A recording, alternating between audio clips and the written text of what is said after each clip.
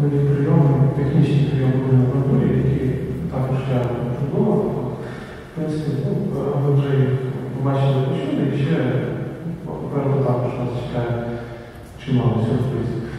Але